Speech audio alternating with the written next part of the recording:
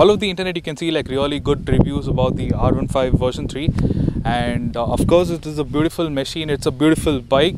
In the 150cc segment there is no other bike that can actually beat the R15 version 3 since there are a lot of YouTube videos uh, saying saying how good this uh, bike is uh, today we're not here to talk about the good things about the R15 version 3 I wouldn't say the bad things. These are things that Yamaha could have done better uh, regarding this bike shake.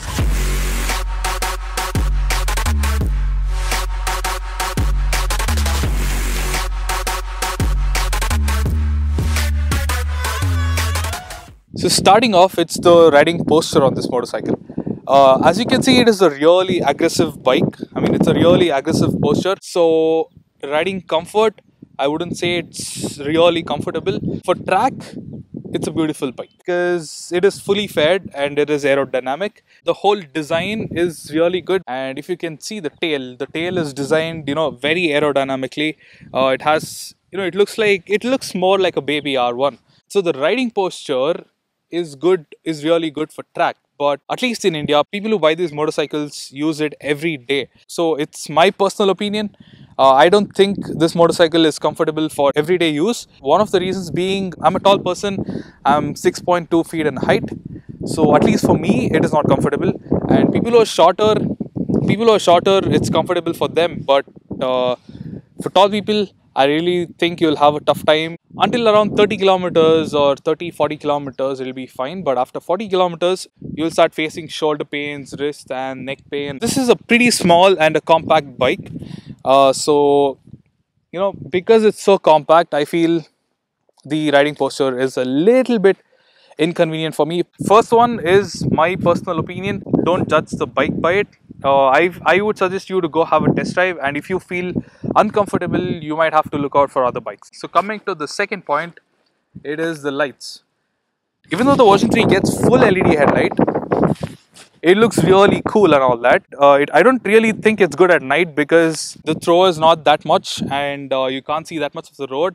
And on top of that, if it starts raining, you know, uh, you know the enemy of white lights is rain and wet roads. If it rains at night, trust me, you're a blind person riding the motorcycle. On the other hand, if this had halogen headlamps with the projectors like the RC200, RC390 or even the RS200 for that matter, uh, it would have been much better because I've compared both of them side by side and I felt the halogen projector headlamps performed much much better at night and in rainy conditions. So for that reason, I felt the really sexy looking LED headlamps on the R15 version 3 is not that much practical after all. So the next point is riding comfort in traffic conditions. Since I told you the height and the handlebar thing, in city traffic conditions, even though the bike is really light and really nimble, it can be flicked around very easily.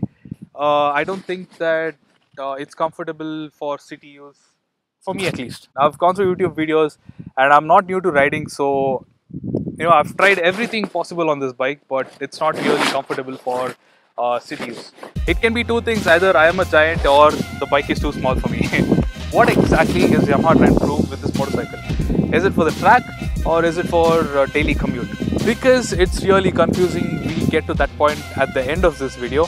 So coming to the next point, the fourth point is the braking. These days even 125cc scooters are getting ABS. So one thing that the version 3 really lacks with is the ABS.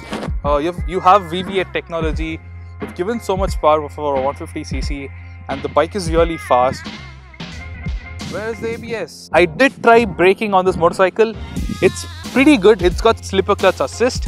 So you don't have to worry about downshifting aggressively without locking the rear wheel up. But braking on this motorcycle, it's pretty decent. It's not the best out there. On panic braking, the rear wheel locks up and you'll be sliding towards hell. Just for the safety aspect, ABS was something that was that should have been given by Yamaha and that's really necessary for this motorcycle. Uh, at least, uh, you know, they should have kept it optional so that people could choose if they wanted ABS or not.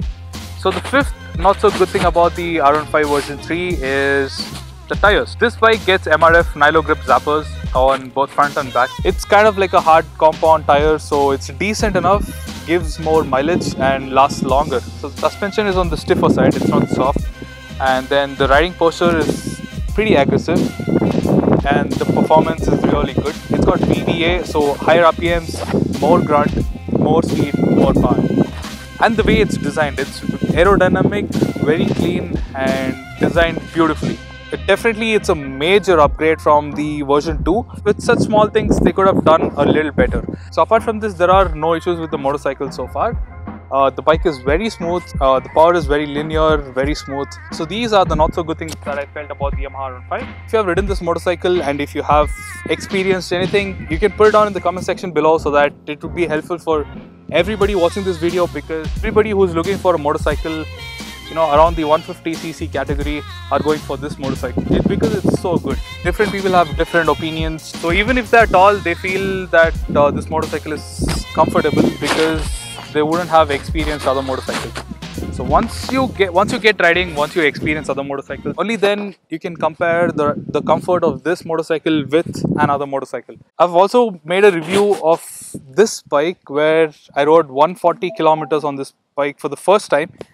And since I've ridden other 150cc or 200cc motorcycles, I could easily compare this bike with that and you know uh, easily feel the difference with, between these two machines. So this is Macho Biker. Thank you for watching.